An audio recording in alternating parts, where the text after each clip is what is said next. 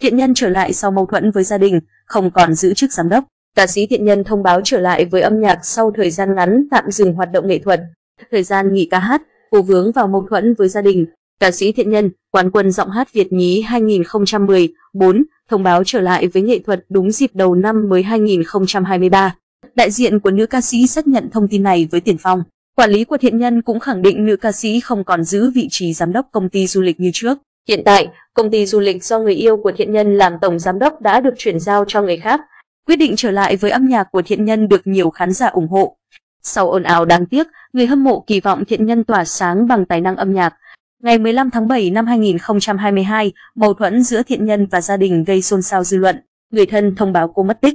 Gia đình mất liên lạc với cô từ tháng 1 năm 2022 sau khi Thiện Nhân chuyển tới thành phố Hồ Chí Minh để chung sống với người yêu đồng giới tên Ngân Trác. Thiện Nhân lên tiếng khẳng định cô vẫn giữ liên lạc với gia đình chứ không hề mất tích.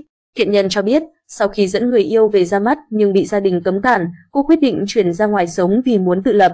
Thiện Nhân nhiều lần xin phép và báo với gia đình ý định này. Gia đình luôn là số một, là nơi ấm áp nhất nhưng một số người lại bị tổn thương bởi chính gia đình của mình, Thiện Nhân nói trong buổi livestream với khán giả. Nữ ca sĩ cho biết, khi ra khỏi nhà, cô chỉ mang theo đúng 30 triệu đồng, số tiền ba nuôi gửi về cho cô để tiết kiệm.